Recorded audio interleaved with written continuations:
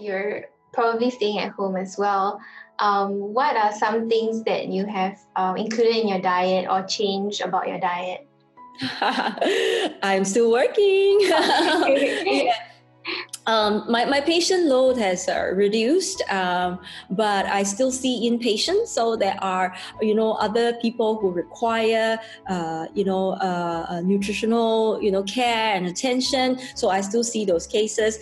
Um, but yes, I agree with you. I cook more than usual at home, but I do usually cook at home anyway. And it's um, it's really exciting because I see a lot of people cooking now at home, and, and it makes me excited because in the past when I see patients, everyone say, "Ah, oh, no, I don't cook. You know, I just eat out. It's so easy to eat out." And so now I see more and more people cooking, and you can see that their cooking skills are gradually uh, improving on social media, and and it's uh, so exciting to see.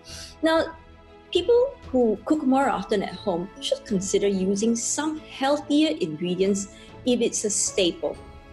Meaning that your cooking oil, say for example, because if you change your cooking oil, you're making a difference uh, in the diet of your entire family. Because most likely you're not going to buy one oil for for this person and the oil for that person. So if you change to say an extra virgin olive oil for cooking, then everybody eats healthy. Uh, same thing with you know your grains, your basic grains, your breads is to choose whole grain.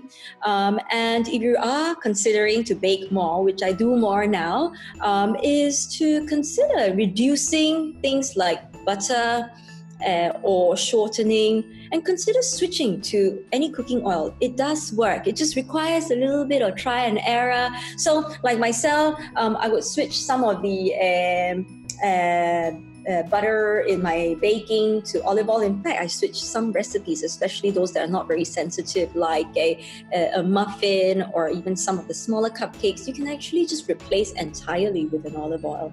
Mm-hmm. Um, and um, we bake a lot more means that we're going to use a lot of sugar, right? So, based depending on the recipe, I would suggest to people to reduce it at a quarter at a time. So, if the recipe calls for uh, one cup of sugar, you might want to reduce it to three quarter cups and hopefully the end product is still the same.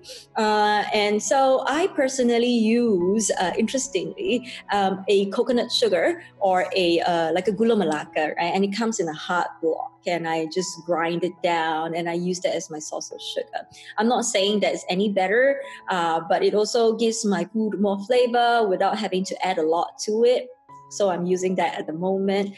Um, and I'm using, instead of, you know, um, flavoring my cakes with artificial flavoring, um, um I would use a green tea powder uh, like a matcha powder and use that together, you know, as uh, uh, with my uh, cake, and so you get a flavored cake without adding, you know, anything uh, artificial or uh, in my case, I am actually after the catechin inside green tea. And so, you know, that is health enhancing and functional at the same time.